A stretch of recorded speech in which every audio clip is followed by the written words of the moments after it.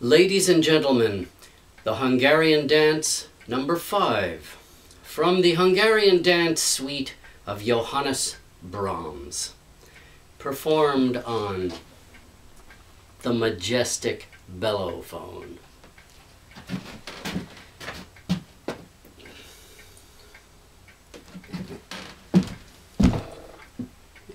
This.